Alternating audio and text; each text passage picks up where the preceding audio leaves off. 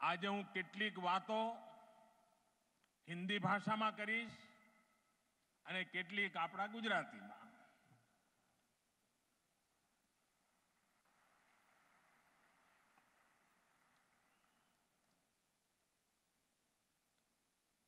गुजरात के मुख्यमंत्री श्रीमान विजय रूपाणी जी उप मुख्यमंत्री श्रीमान नितिन भाई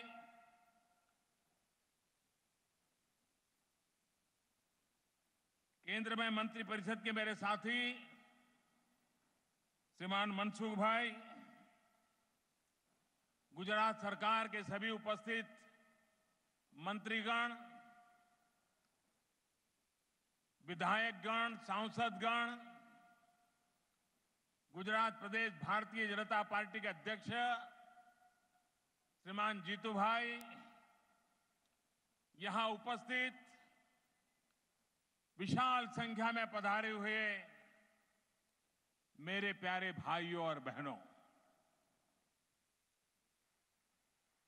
आप सबको दीपावली और नवीन वर्ष की शुभकामनाओं के साथ अभी अभी हम लोगों ने भाई दूज का त्योहार मनाया।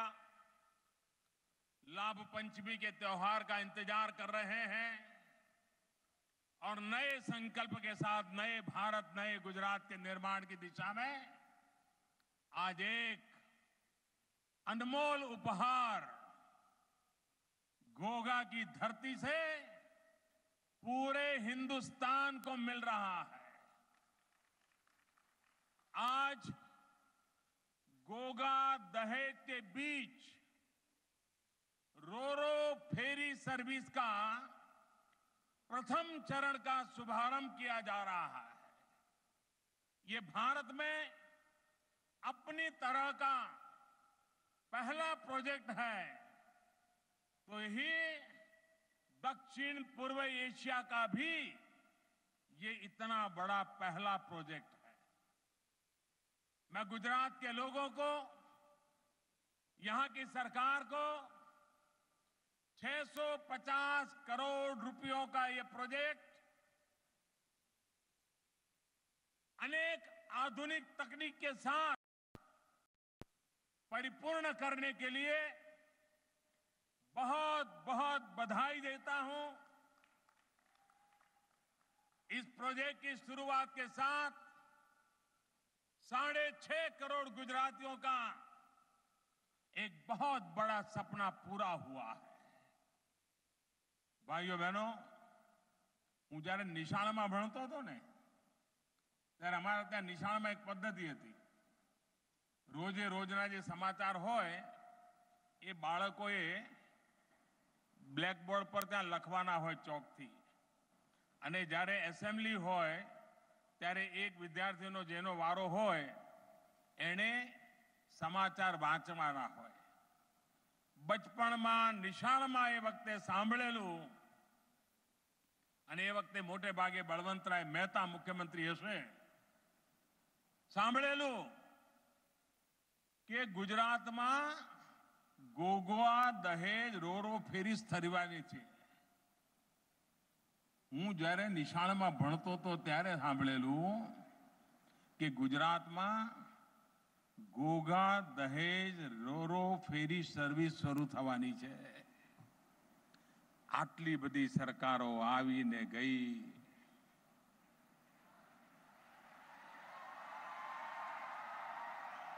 ભાવનગરમાંથી એ બધા અડીખમ નેતાઓ આવીને ગયા પણ સારા કામ બધા મારા નસીબમાં જ લખાયેલા છે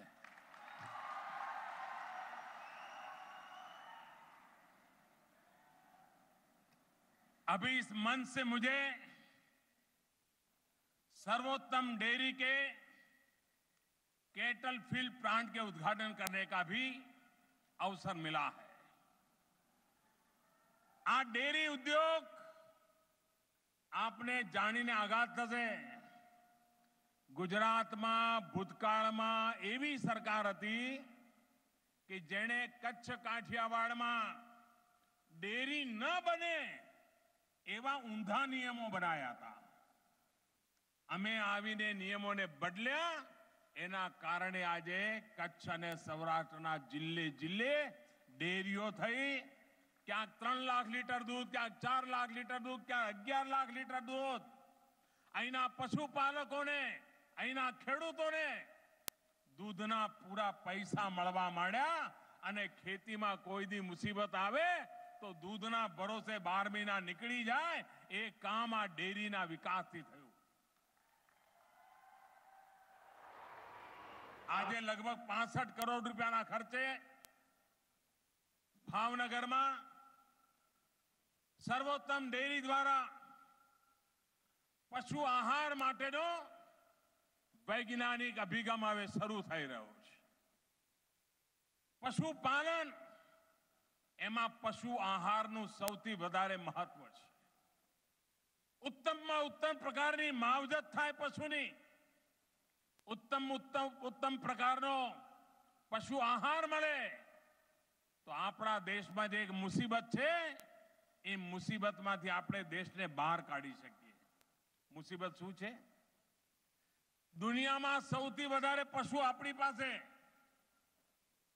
પરંતુ પ્રતિ પશુ જે દૂધનું ઉત્પાદન છે એ દુનિયામાં ખૂબ ઓછું હોય એવા દેશમાં આપણું નામ છે પશુઓની સંખ્યા ઓછી હોય તેમ છતાં દૂધનું ઉત્પાદન વધારે હોય તો જ પશુપાલકને પાલવે તો જ ખેડૂતને પાલવે અને એટલા માટે પશુની માવજત પશુ માટે આહાર એ અત્યંત મહત્વની બાબત છે થોડા સમય પહેલા હું ભરૂચ આવ્યો હતો ગુજરાત સ્ટેટ ફર્ટિલાઇઝર કોર્પોરેશનમાં એક પ્લાન્ટનું ઉદ્ઘાટન કર્યું હતું એમાંથી જે ચીજો ઉત્પાદિત થાય છે એ ખાણદાન બનાવવા માટે કામ આવે છે. અને આજે ભાવનગરની ધરતી પર આવીને સર્વોત્તમ ડેરી દ્વારા પાસઠ કરોડના ખર્ચે પશુ આહાર માટે, પશુ ખાનદાન માટે જે પ્લાન્ટનું આજે લોકાર્પણ થઈ રહ્યું છે. હું ભાવનગર જિલ્લાના બધા પશુઓને શુભકામનાઓ પાઠવું છું. આ ઉત્તમ આહાર મળશે એમને. એના કારણે એમની રોગ સામેની પ્રતિકાર શક્તિ વધશે, દૂધનું ઉત્પાદન વધશે અને પ્રમાણમાં ખેડૂતના ઘરમાં પણ બે પાંદડે જિંદગી જીવવાનો અવસર આવશે. હું ભાઈ મહેન્દ્ર અને એમના સૌ મિત્રોને, ડેરીના સૌ ડાયરેક્ટરોને, ઉત્તરોત્તર ડેરીની પ્રગતિ માટે ખૂબ ખૂબ અભિનંદન આપું છું અને ખૂબ ખૂબ શુભકામનાઓ આપું છું. मेरे प्यारे भाइयों, बहनों, एक विवाद का विषय है। क्या मनुष्य जात ने सबसे पहले तैरना सीखा था कि पहिया बनाने का सीखा था? कोई तय नहीं कर पाता था कि पहले पहिया बना, कि पहले इंसान तैरना सीखा। लेकिन ये सही है कि मानव जात सदियों से तैरकर नाव से नदी पार करना, उसने हमेशा सरल माना, आसान माना। गुजरात के तो हज़ारों साल का सामुद्रिक यात्रा का इतिहास रहा है। नाव बनती यहाँ थी, नाव लेकर दुनिया में जाने की यहाँ लोगों की परंपरा थी। लोथल चौरासी देशों के झंडे यहाँ पर फहरते थे। वल्भी यूनिवर्सिटी 1700 साल पहले, अनेक देशों के बच्चे हमारे यहाँ वल्भी में पढ़ते थे। लेकिन पता नहीं क्या हुआ। सब कुछ इतिहास की तरह नीचे ज़मीन में दब गया। वो भी तो एक जमाना था। लंका लाड़ी ने घोघा नो वर।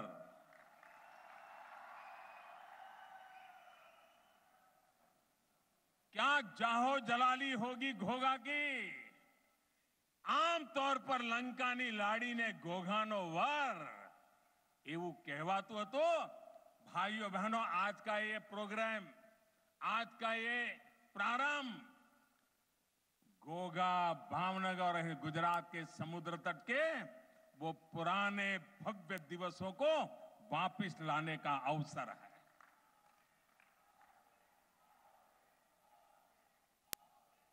गोगा दहेज के बीच से फेरी सर्विस, सौराष्ट्र और दक्षिण गुजरात के करोड़ों लोगों की ज़िंदगी को ना सिर्फ़ आसान बनाएगी, बल्कि उन्हें और निकट ले आएगी। जिस सफ़र में सात आठ घंटे लगते थे, वो सफ़र एक सवा घंटे में पूरा किया जा सकेगा। हमारे यहाँ कहा जाता है, सबसे मूल्यवान चीज़ समय होता है। टाइम इज़ मनी ये कहा जाता है। आज दुनिया में कोई 24 घंटे के 25 घंटे नहीं कर सकता है। लेकिन ये भारत सरकार और गुजरात सरकार है कि आपके 24 घंटों में से एक घंटे की सफ़र करके सात घंटे की सौगात दे सकता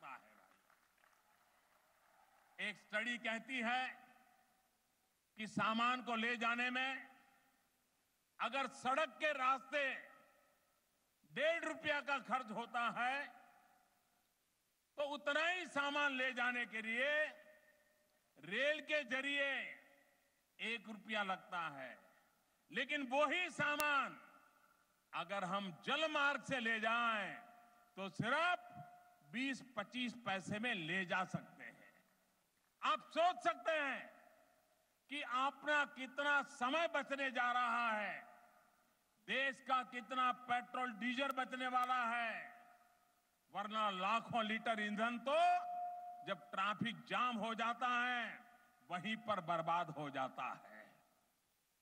भाइयों और बहनों, सौराष्ट्र और दक्षिण गुजरात के बीच हर रोज लगभग बारह हज़ार लोग यात्रा करते हैं।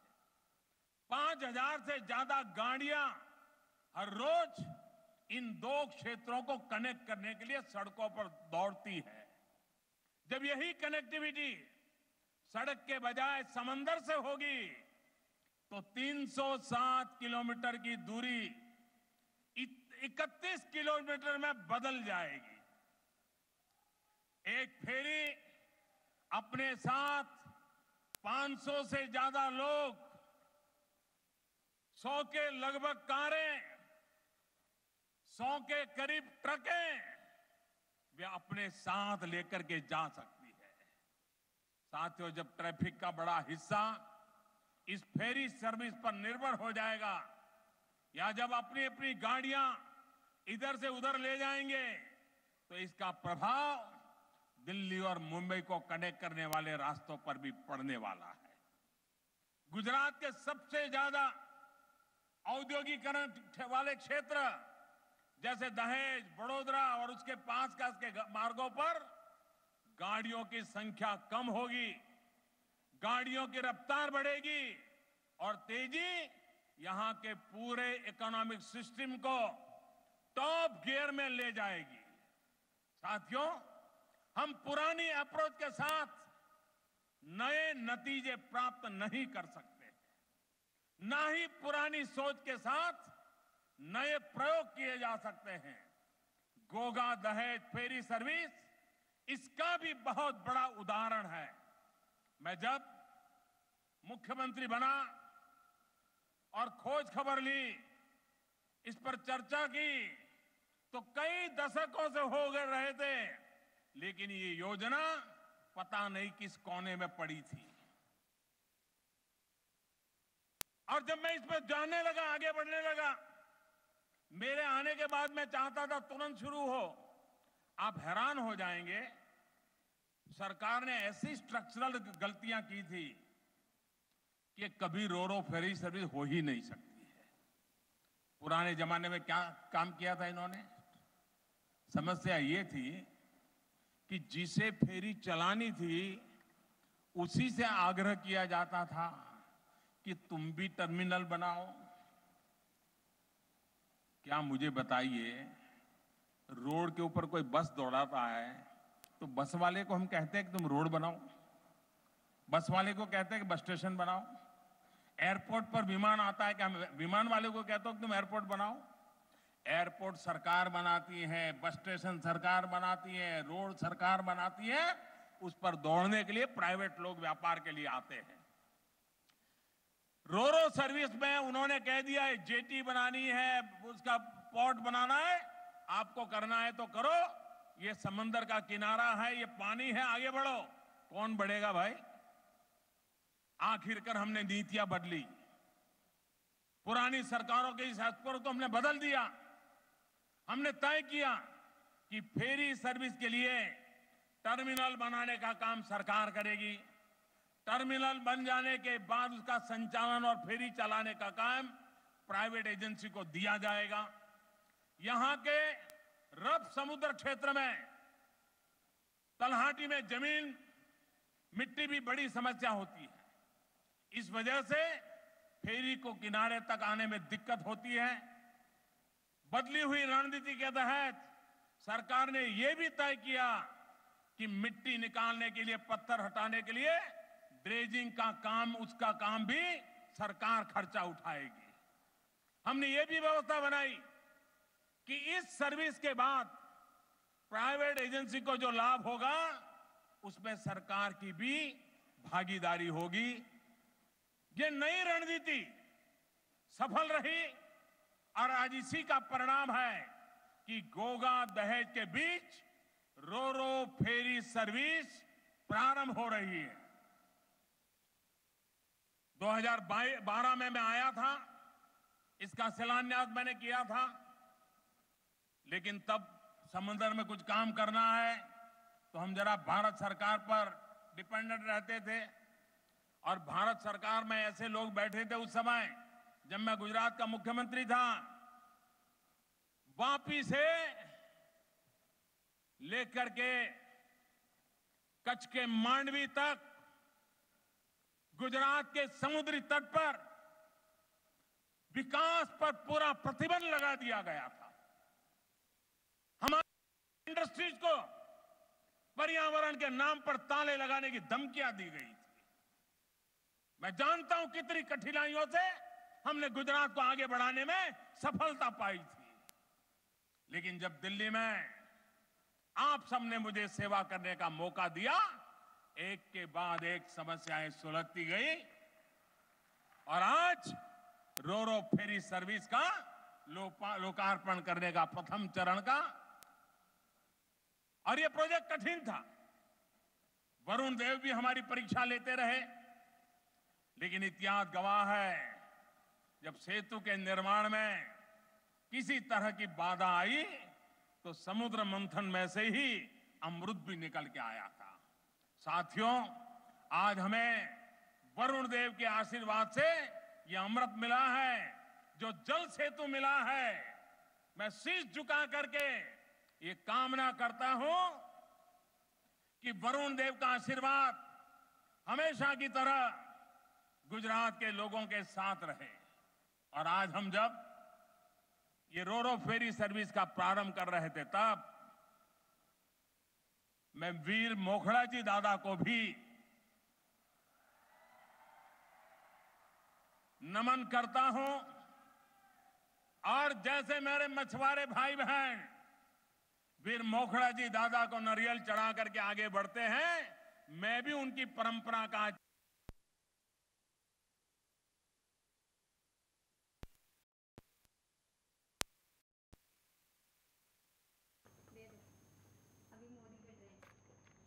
तो आपको बता दें कि गुजरात के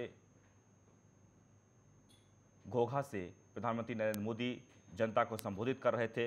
615 करोड़ के ये फेरी सेवा प्रोजेक्ट जिसकी प्रथम चरण की शुरुआत हो गई है, प्रधानमंत्री ने आज भावनात्मक अपील करते हुए कहा कि देश का सारा काम मेरे हिस्से है और मुझे बहुत सारे काम करने हैं। इस परियोजना से जुड़े हैं, वे सबके सब बधाई के पात्र हैं। भाइयों और बहनों गुजरात में देश के सबसे बड़ा सी फ्रंट उपलब्ध है। 1600 किलोमीटर से भी ज़्यादा हमारा समुद्री तट है। सैकड़ों वर्षों से गुजरात अपनी शक्ति और सामर्थ्य से पूरी दुनिया का ध्यान अपनी ओर खींचता रहा है। लोथल पोर्ट से निकली जानकारियाँ आज भी बड़े बड़े मरीन एक्सपर्ट्स को अचंभित करती है। जिस जगह पर हम सभी उपस्थित हैं, वहाँ पर सैकड़ों वर्षों से दुनिया के अलग अलग देशों से जहाज़ आते रहे हैं। इस समृद्ध विरासत को समझते हुए, देखते हुए, मैं उसी समय से गुजरात में पोर्ट लेड डेवलपमेंट की बात कर रहा हूँ, जब आपने मुझे मुख्यमंत्री के पद पर बिठाया था। इसी को ध्यान में रखते हुए, हमने गुजरात के कोस्टल इलाके में इंफ्रास्ट्रक्चर और डेवलपमेंट के दूसरे प्रोजेक्टों पर विशेष ध्यान दिया।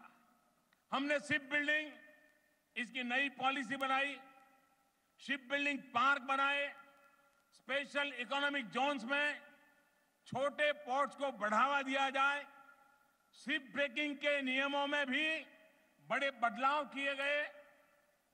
सरकार ने स्पेशलाइज टर्मिनल्स के निर्माण पर भी विशेष ज़ोर लगाया।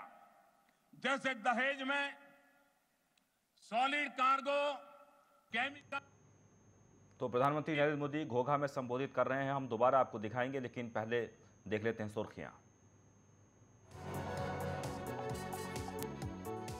गुजरात के घोघा पहुँचे पीएम मोदी, जनसभा को कर रहे हैं संबोधित। रोरो फेरी सेवा का किया शुभारंभ।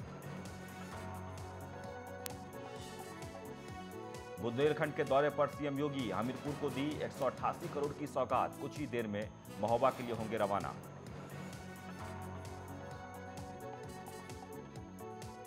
केदारनाथ नवनिर्माण के मुद्दे पर भी सियासत। उत्तराखंड कांग्रेस का सरकार पर निशाना।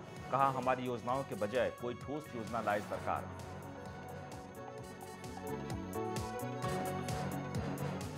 मैनपुरी में सामने आया दहेज हत्या का मामला। पति को पत्नी ने उतारा मौत के घाट, पुलिस ने मामला किया दर्ज, आरोपी पति फरार।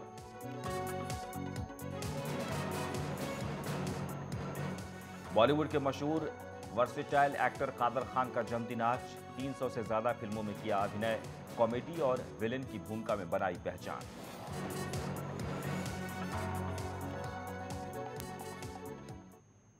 और चलिए, फिर से हम लिए चलते हैं आपको घोघा, जहाँ प्रधानमंत्री नरेंद्र मोदी સભા કો સંબોધિત કર રહે આપણા સ્થાનિક જવાનીઓને તૈયાર કરીને ટ્રેન કરીને એમને આમાં રોજગાર મળે એના માટે પ્રબંધ કરવાનું નક્કી કર્યું છે उनकी शिक्षा स्वास्थ्य पीने के पानी बिजली के साथ ही हमने कोस्टल सोशल सिक्योरिटी का भी पूरा इंफ्रास्ट्रक्चर तैयार किया है भाइयों बहनों अभी हाल ही में जापान के प्रधानमंत्री आए थे उस समय हमने जापान के साथ शिपिंग सेक्टर को लेकर के एक महत्वपूर्ण समझौता किया। इस समझौते के तहत जापान सरकार और वहाँ की एक वित्तीय संस्था, जायका, अलंग शिपयार्ड में अपग्रेडेशन के लिए, उसके मॉडर्नाइजेशन के लिए हमें वित्तीय सहयोग देंगे, हमें धन देंगे, इसके लिए वो तैयार हुए हैं। આપણે ત્યાં અલંગની ચર્ચા ઘણી થઈ પહેલા વિકાસ માટે ત્યાંના મજદૂરોની સ્થિતિ અને પર્યાવરણના નામે આખા આપણા ઉદ્યોગ ઉપર તોફાન આવ્યું હતું આ બધામાંથી બહાર કાઢીને એ દુનિયામાં આધુનિકમાં આધુનિક બને એના માટે જાપાન પાસે કરાર કરીને ત્યાંથી ધન લાવીને અહીંના આખા અલંગના અને શિપ બ્રેકિંગના બધા પ્રોજેક્ટને વધારે આધુનિક બનાવવાની દિશામાં કામ કર્યું છે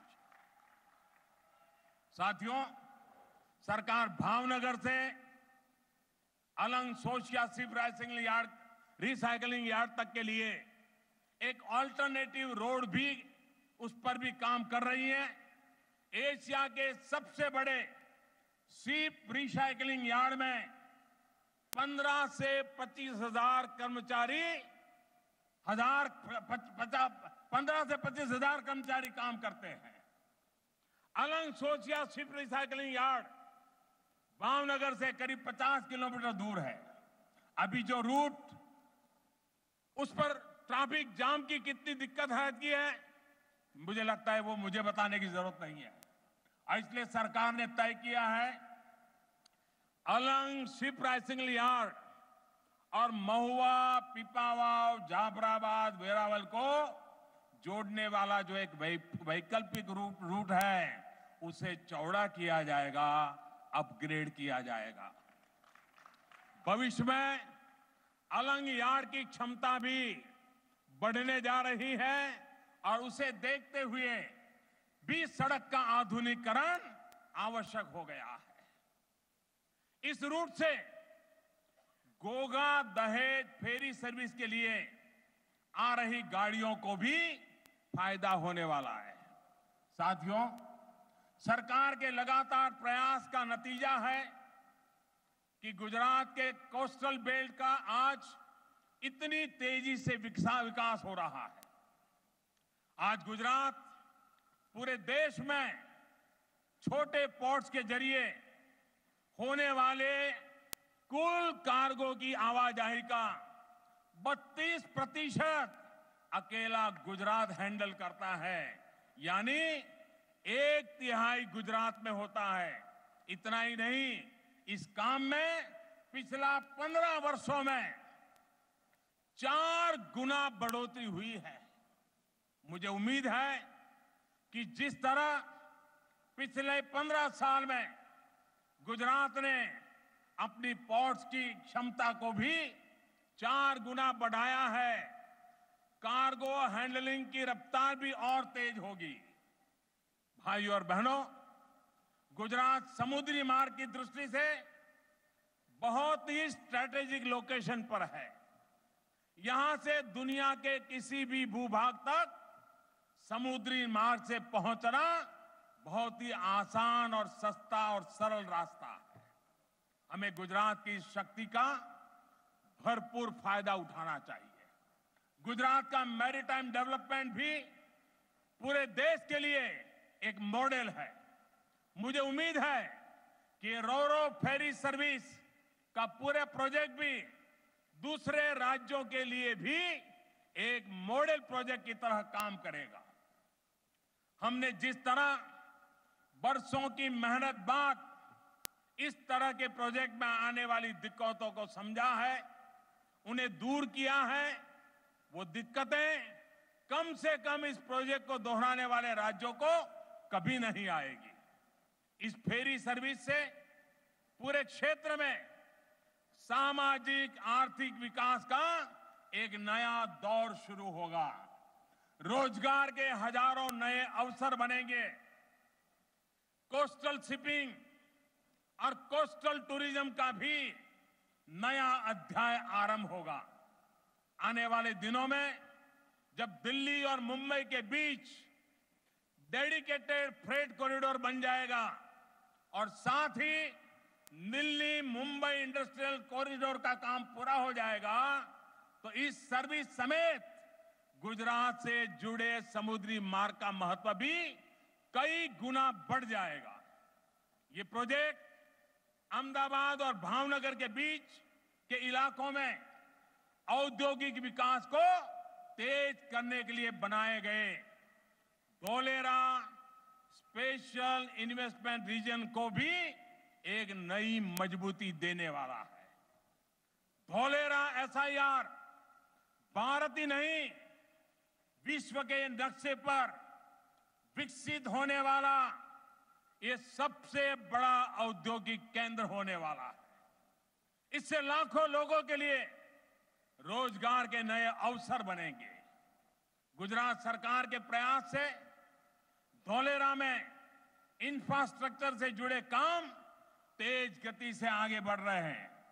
कुछ ही वर्षों में धोलेरा पूरी दुनिया में अपनी धाक जमाएगा और उसमें एक ही भूमिका, गोगा दहेज फेरी सर्विस का भी योगदान होगा। साथियों भविष्य में हम इस फेरी सर्विस को, ये सिर्फ़ गोगा दहेज तक रुकने वाला नहीं है। भविष्य में इस फेरी सर्विस को हम हजीरा, पीपावाव, जाफराबाद, दमन दीव, इन सभी जगह पर जोड़ने की दिशा में आगे बढ़ने वाले हैं। मुझे बताया गया है कि सरकार की तैयारी आने वाले वर्षों में इस फेरी सर्विस को सूरत से आगे हजीरा और फिर मुंबई तक ले जाने के लिए भी चल रही है। कच्छ की खाड़ी में भी इसी तरह का प्रोजेक्ट शुरू किए जाने की चर्चा अभी प्राथमिक स्तर पर चल रही है। मुझे बताया गया है कि कच्छ के वायु और जामनगर के रोजी बंदल के बीच ऐसी सेवा शुरू करने के लिए प्री फिजिबिलिटी रिपोर्ट ऑलरेडी तैयार हो चुकी है। इतना ही नहीं जब फेरी सर्विस का इस्तेमाल बढ़ेगा तो तमाम उद्योगों को नर्मदा नदी के माध्यम से भी कनेक्ट किया जा सकता है। साथियों भारत की विशाल समुद्री सीमा 7,500 किलोमीटर लंबी है। निवेश की बड़ी संभावनाओं से भरी हुई है। मेरा मानना रहा है कि हमारे कोस्टल हमारे समुद्री तट देश की प्रगति के गेटवे हैं। भारत की समृद्धि के प्रवेश द्वार हमारे बंदर होते हैं। लेकिन बीते दशकों में केंद्रीय स्तर से इन पर कम ही ध्यान दिया गया। देश का शिपिंग और पोर्ट सेक्टर भी लंबे समय तक उपेक्षित रहा इस सेक्टर को सुधारने के लिए उसे आधुनिक बनाने के लिए सरकार ने सागर माला कार्यक्रम भी शुरू किया है हमारे यहां કચ્છ સૌરાષ્ટ્ર હંમેશા ખાલી જ થતું જાય લોકો અહીંથી હિજરત કરતા હતા કારણ શું તો પીવાના પાણી નહીં અને ખારા પાણ દરિયાની હવા. ખેતી ન થાય, બાકી કાંઈ ન થાય, રોજી રોટી ન કમાય લોકો છોડતા હતા. ભૂતકાળમાં દરિયાની તાકાત જો સમજ્યા હોત, પાણીના સામર્થ્યને સમજ્યા હોત, તો કચ્છ સૌરાષ્ટ્રના લોકોને મોટા મોટા શહેરોમાં જઈને જુગ્ગી ઝોપડીમાં જિંદગી જીવવા માટે મજબૂર ન થવું પડ્યું હોત. ભાઈઓ બહેનો, અમે જે ઉપક્રમ પાડ્યો છે આખો કચ્છ સૌરાષ્ટ્રનો દરિયા કિનારાનો ધમધમતો કરવાનો આખા ગુજરાતમાં આવનારા દિવસોમાં ધમધમાટ ક્યાં જોવા મળવાનો છે તો સૌથી વધારે આ કચ્છ સૌરાષ્ટ્રના દરિયા કિનારે જોવા મળવાનો છે અમે એવી રીતે બીજ વાવ્યા છે सागरमाला परियोजना के तहत देश में मौजूदा पोर्ट उसका मॉडर्नाइजेशन और नए पोर्ट के डेवलपमेंट का काम किया जा रहा है सड़क, रेल मार्ग इंटरस्टेट वाटरवेज और कोस्टल ट्रांसपोर्ट को इंटीग्रेटेड किया जा रहा है। ये परियोजना कोस्टल ट्रांसपोर्ट के ज़रिए माल ढुलाई को बढ़ाने में बहुत अहम भूमिका निभा रही है। साथियों, सरकार के प्रयासों का ये नतीजा है कि पिछले तीन वर्षों में पोर्ट सेक्टर में बहुत बड़ा परिवर्तन आया। और अभी तक का सबसे ज़्यादा कैपेसिटी एडिशन पिछले दो या तीन वर्ष में हुआ है। जो पोर्ट और सरकारी कंपनियाँ घाटे में चल रही थी, उनमें भी परिस्थिति बदल रही है। सरकार का ध्यान कोस्टल सर्विस से जुड़ी स्किल डेवलपमेंट पर भी है।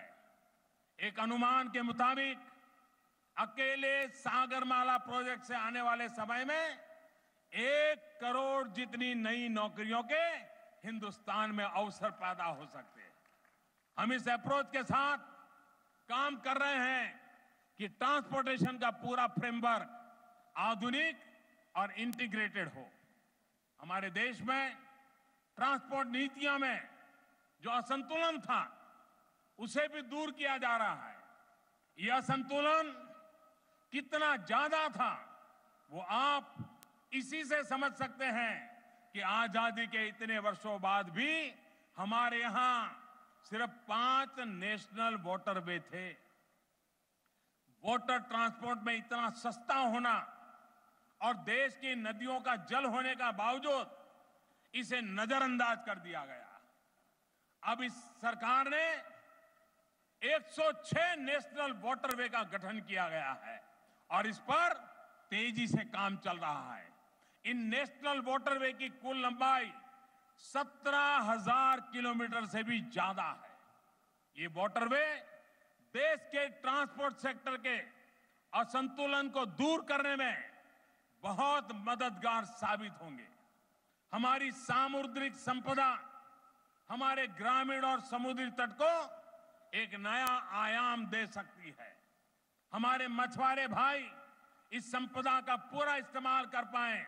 इसके लिए सरकार ने ब्लू रिवॉल्यूशन इस स्कीम को शुरू किया है उन्हें आधुनिक तकनीक का इस्तेमाल करते हुए मछली पकड़ने और मछली पालन में वैल्यू एडिशन के बारे में सिखाया जा रहा है हमारा माछीमार भाइयों માટે બ્લુ રિવોલ્યુશન સ્કીમ એમને લાંબી બોટ મળે આધુનિક બોટ મળે દૂર સુધી બાર નોટિકલ માઇલથી પણ અંદર જાય વધુમાં વધુ એમને કેચ મળે માછલી મળે અને પૂરી વ્યવસ્થા અંદર હોય અમારા માછીમારો ઓછી ઓછી મહેનતે વધુ રે કમાય એના માટે સરકારે ब्लू रिवॉल्यूशन स्कीम के अंतर्गत आज मछुआरों को लॉन्ग लाइनर ट्रॉलर्स के लिए आर्थिक मदद देने का भी योजना बनाई है एक वेसल पर केंद्र सरकार की तरफ़ से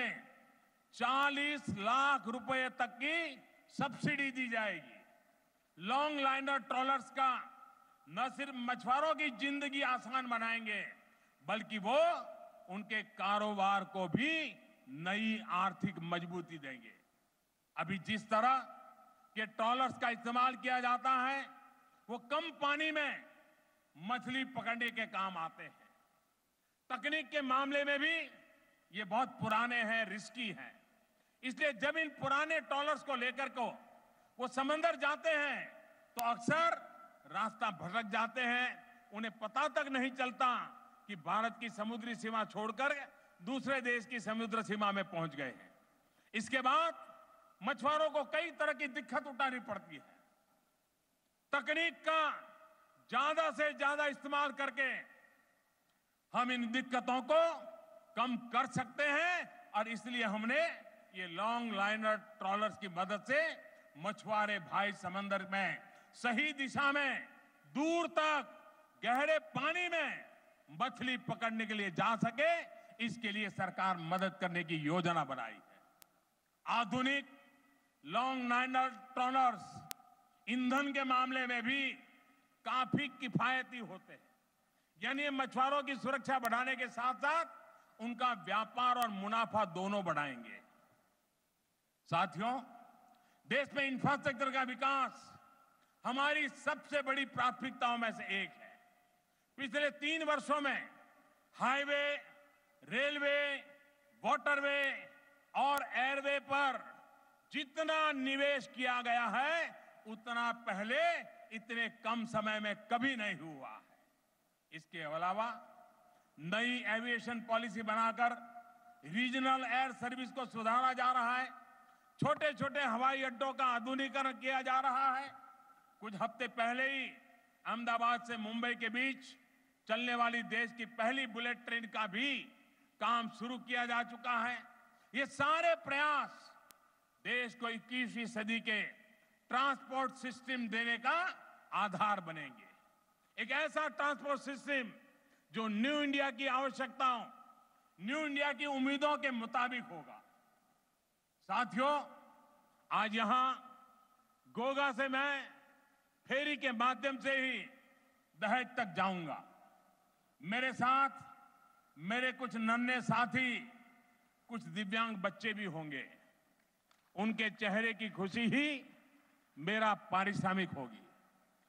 મને ગુજરાત સરકારે પૂછ્યું કે આ ફેરીમાં કોણ આવશે મેં કહ્યું ભાઈ મારા તો સો સ્પેશિયલ મહેમાનો છે તમારે લઈ જવા પડશે તો એમને થયું કે આ બધા હું દિલ્હીથી લાવવાનો છું મેં એમને કહ્યું કે જે મારા દિવ્યાંગ ભાઈઓ બહેનો છે પરમાત્માએ જે બાળકોને કંઈ ને કંઈ મુશ્કેલી આપી છે એ મારા આજે સ્પેશિયલ ગેસ્ટ છે અને એમને આજે હું મારી સાથે આ ફેરી સર્વિસનું ઉદ્ઘાટનમાં જોડે લઈ જઈશ દહેજ લઈ જઈશ અને પાછી આ ફેરી એમને આવીને મૂકી પણ જશે ભાવનગરના બાળકો દિવ્યાંગજનો એમને મારી સાથે લઈ જવા એ પણ મારે માટે એક ગર્વનો વિષય છે भाइयों बहनों बचपन से जिस कार्य का सपना देखा था वो पूरा होने के बाद मैंने कैसा अनुभव किया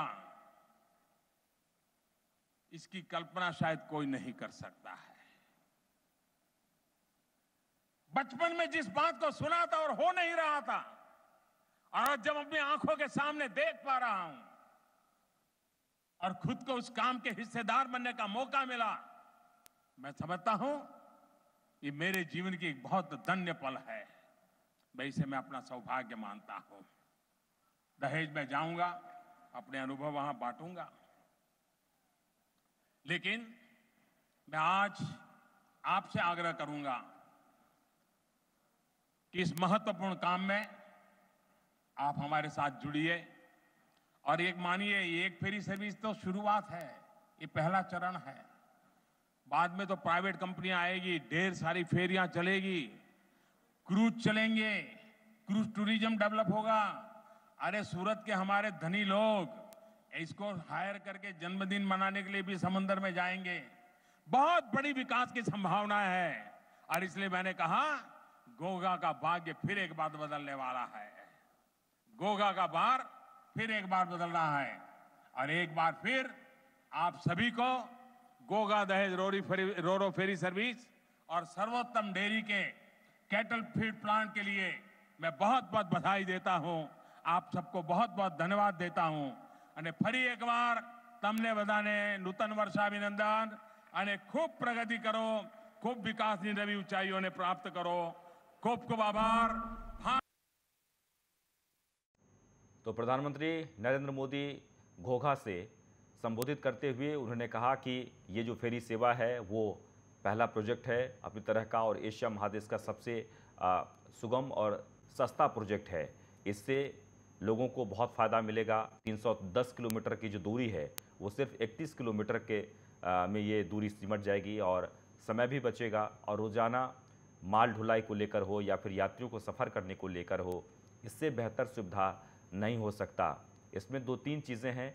आ, ये कि लोगों का समय बचेगा और इसके बाद रोज़गार के अवसर पैदा होंगे और राजस्व की प्राप्ति भी होगी। सरकार ने बहुत पहले ही इस पर प्लान किया था यानी 2012 में इसका उद्घाटन किया था, लेकिन फ़िलहाल इस कार्य को रोक दिया गया था। आज हमें ये अवसर मिला है और हमने इसकी शुरुआत फिर से की है। उद्घाटन के मौके पर आज प्रधानमंत्री नरेंद्र मोदी खुद भी इसमें सफ़र करेंगे और घोघा से जामनगर तक सफ़र करेंगे। उनके साथ 100 दिव्यांग बच्चे भी होंगे। 2012 में आधारशिला रखी गई थी, जो अब जाकर ये पूरा हुआ है। और ये अपने तरीक का एक अनोखा प्रोजेक्ट है, फेरी सर्विस का जो असर है, दिल्ली मुंबई पर भी पड़ेगा, ये भी उन्होंने कहा। यानी बिज़नेस के माध्यम से इसका एक बहुत बड़ा असर हो सकता है। माल ढुलाई को लेकर एक बहुत बड़ा असर हो सकता है। गुजरात में विधानसभा चुनाव है और चुनाव को लेकर आज आज का जो दौरा था प्रधानमंत्री का, ये तीसरा दौरा है एक महीने के भीतर। और उन्होंने पूरे गुजरात भाइयों को यही संदेश दिया है कि ये मौका मिला है, ये एक अच्छा अवसर है और गुजरात के विकास को लेकर हमने साढ़े छः करोड़ गुजरातियों का सपना पूरा किया है। दक्षिण पूर्व एशिया का सबसे बड़ा प्रोजेक्ट जिसका आज उद्घाटन किया जा रहा है 310 किलोमीटर की दूरी मैच 31 किलोमीटर में अब सिमट जाएगी, यानी समुद्र मार्ग से ये दूरी तय की जाएगी। और काफ़ी दिनों से इस पर चर्चा हो रही थी, लेकिन प्रधानमंत्री नरेंद्र मोदी ने इसे पूरा किया है और आज इसका शुभारंभ होने जा रहा है। प्रधानमंत्री खुद ही इस सबसे पहले इसमें यात्रा करेंगे। रो रो फेरी सेवा के प्रथम चरण की आज शुरुआत होने जा रही है। तो एक बार आपको फिर से बता दें कि विकास को लेकर उन्होंने तमाम बातें कही है। केंद्र सरकार के जो जितने भी योजनाएँ हैं, जो जो प्रोजेक्ट्स हैं, उस प्रोजेक्ट्स को लेकर गुजरात भाइयों को कहा कि जिस तरह से लगातार एक के बाद एक योजनाओं का शिलान्यास किया जा रहा है, जैसे हम काम कर रहे हैं, उसमें गुजराती भाइयों को रोज़गार के अवसर भी प्राप्त होंगे।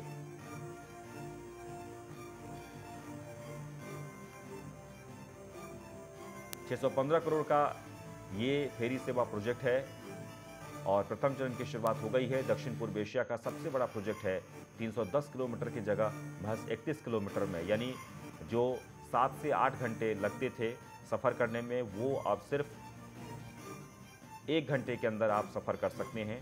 ये ऐसा प्रोजेक्ट है, यानी कि जो आज शुभारंभ किया गया है, फेरी सेवा। और इसका असर सिर्फ़ गुजरात ही नहीं, बल्कि दिल्ली, मुंबई पर भी पड़ेगा, क्योंकि सबसे ज़्यादा माल ढुलाई का जो काम है, इस माध्यम से किया जाएगा। एक बहुत ही अहम बात प्रधानमंत्री ने कही कि गुजरात एक ऐसे सेंटर पर है, जहाँ किसी भी देश आप जा सकते हैं समुद्री मार्ग से, और बहुत ही सुगम और सस्ते दर में आप जा सकते हैं।